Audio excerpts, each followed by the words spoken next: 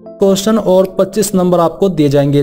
तो कुल मिलाकर के आपको दो घंटे समय एग्ज़ाम के लिए दिए जाएँगे, यानी कि 120 मिनट आपके पास होंगे। आपने यहाँ पर पैटर्न के बारे में जानकारी समझ ली है। अभी बात करते हैं आपके पाठ्यक्रम, यानी कि सिलेबस के बारे में।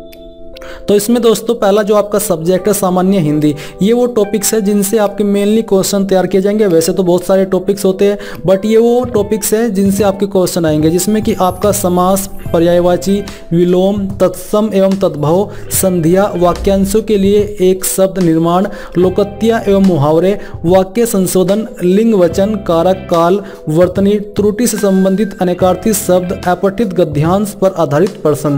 तो ये वही आपके इसके टॉपिक्स अभी मैं आपसे यहाँ पर ये पूछना चाहूँगा कि क्या आप चाहते हैं कि मैं आपके लिए प्रीवियस जो एग्ज़ाम हुआ था यूपी लेखपाल का, उसका एक सोल्ड पेपर लेकर के आऊँ ताकि आपको थोड़ा आइडिया हो सके कि किस लेवल के क्वेश्चन होंगे और काफ़ी आपको उससे हेल्प मिल जाएगी। अगर आप चाहेंगे तो मैं आपके लिए वीडियो बना दूँगा, आप कमेंट करके बता दीजिएगा कि सर हमें प्रीवियस क्वेश्चन पेपर की सोल्ड, यानी कि जो सोल्ड पेपर है, उसकी वीडियो चाहिए। अब चलिए बात करते हैं आपके अगले सब्जेक्ट के बारे में, जो कि है गणित। इसमें दोनों होंगे अंकगणित एवं संख्यिकी तो जो आपके टॉपिक्स है इसके, वो आप समझ लीजिए। संख्या पद्धति प्रतिशतता लाभ, हानि संख्यिकी आंकड़ों का वर्गीकरण बारंबारता बारंबारता, बंटन, सारणीय संची बारंबारता, आंकड़ों का निरूपण, दंड, चार्ट, पाई चार्ट, आयत, चित्र, बारंबारता, बहुभुज, केंद्रीय माप, समांतर, माध्य, मध्यिका एवं बहुलक। इसके अलावा बीजगणित में लघुत्तम समापवर्तीय एवं महत्तम समापवर्तीय और उनमें संबंध। युगपत समीकरण, दिघात, समीकरण गुणन खंड क्षेत्रफल पर में। ये हुआ आपका बीजगणित, फिर रेखागणित भी इसके अंदर है।